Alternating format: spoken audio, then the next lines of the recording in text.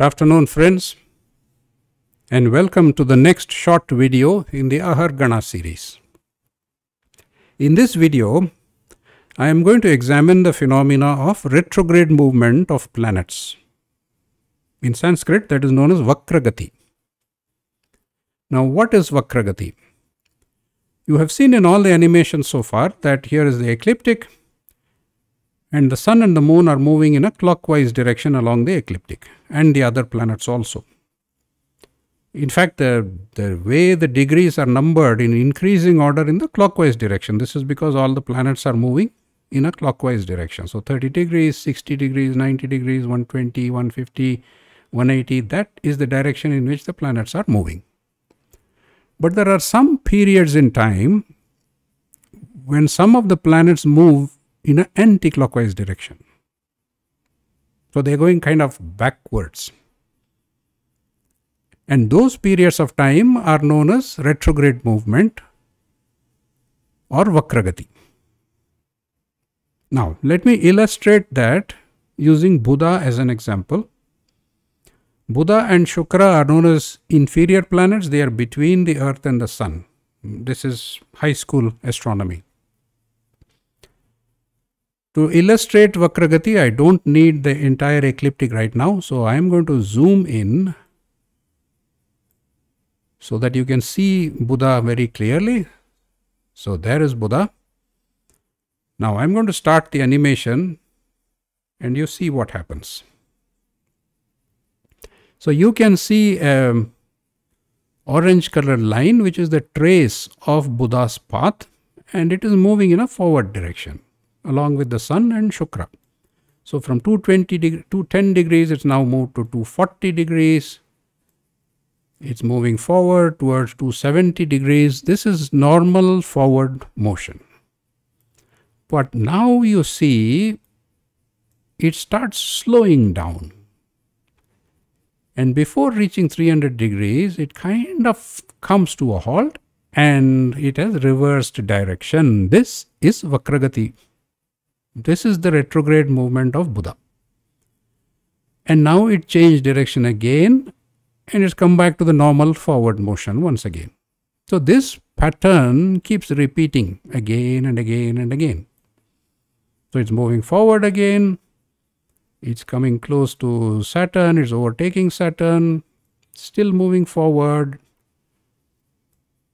It's approaching the zero degree point approaching Guru, still moving forward, going towards 30 degrees. But now it slows down, practically comes to a halt and reverses direction, Vakragati again. And in fact, when it's reverse direction in Vakragati, you see it looks bigger also. Because that's point in time, it's closer to the earth and hence it looks bigger to us if we observe it from the surface of the earth. And now it's again changed direction and back to forward movement. So this is the pattern which keeps repeating again and again and again. I'm not going to show it anymore, the same pattern, but I'm going to repeat this animation with one addition, which will give you a lot of insight into why this happens. The addition which I am making is a, a loop which you see here, a white colored loop. Now what does that loop indicate? Once again, I'm going to zoom in and you will understand what that loop indicates. So this loop is clearly telling you what we all know, what we all learnt in high school, that Budha is not orbiting the earth, Budha is orbiting the sun. Budha is going around Surya in this orbit. But Surya in turn is orbiting the Earth in the geocentric model. So this is loops within loops. So Surya is orbiting Earth, Budha is orbiting Surya. Now this kind of double orbit is known as epicyclic movement in English. So what is the effect of this? It, this is actually the same animation as the previous but with an addition of this white loop. So I'm going to run the animation. Take a look. So Budha is moving forward and that is the orbit it's going to follow, that white line. So it's now catching up with the sun. It's overtaking the sun. The plane of orbit was also twisting around a little bit. Now when it comes to this part of the orbit, it is going to change direction. And you can see why right? Because it is tethered to the sun, it has to go round and round the sun. Now, this is Vakragati. But Vakragati appears to move faster because Surya and Budha are moving in opposite directions. So their relative movement is much faster.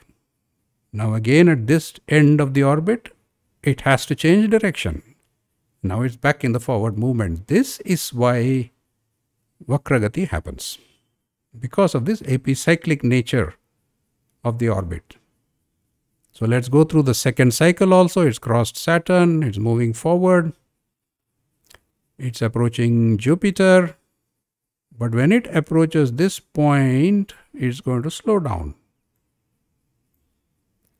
And it turns back there. This is Vakragati again. And Vakragati appears to end much quicker because these two are moving in opposite directions.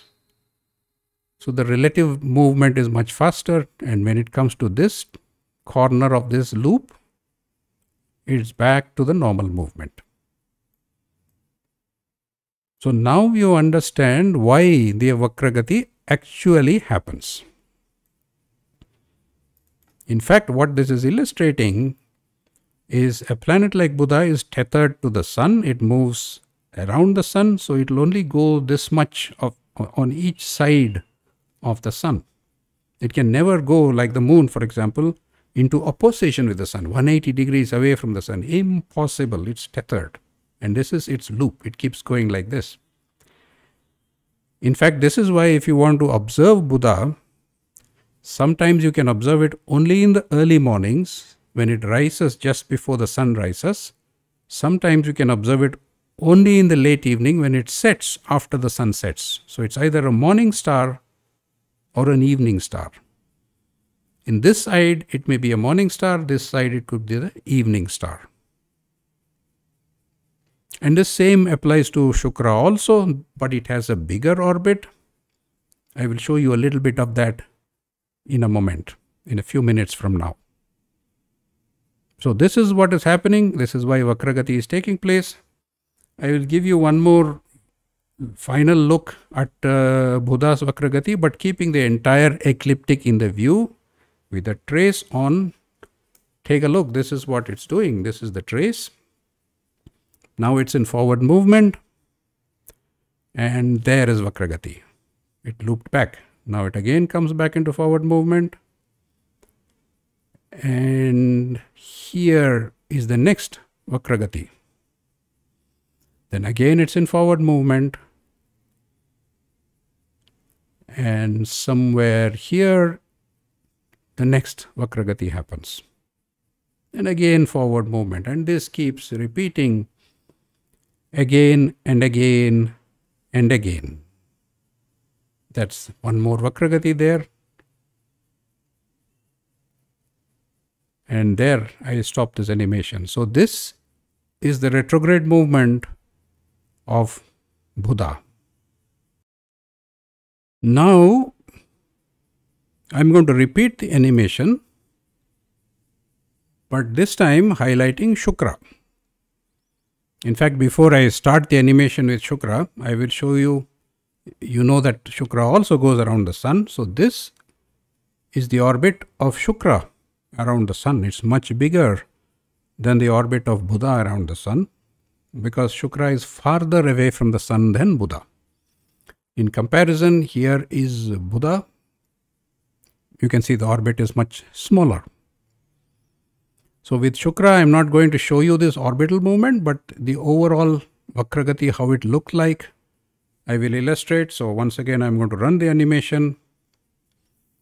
I'm running it much faster this time it's still in forward motion, still in forward motion. And here it goes into Vakragati. You can see it really, really looks huge when it goes into retrograde movement because it comes that much close to the earth in retrograde.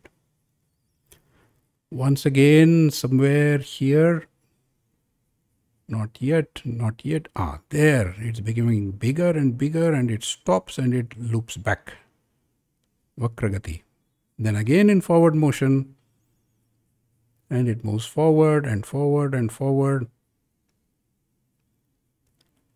And here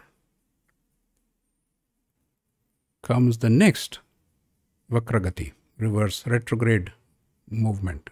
And every, every time it goes into the retrograde movement, it comes closer to the earth and it appears bigger. So that brings me to the end of this short video. I hope you have now a better understanding of why planets move backwards. A similar thing happens with the superior planets also, like Jupiter, Saturn, Mars, which are farther away from us. I mean, they are not between the Earth and the Sun. So they are called the superior planets. They also do something like this, but it's harder for me to illustrate.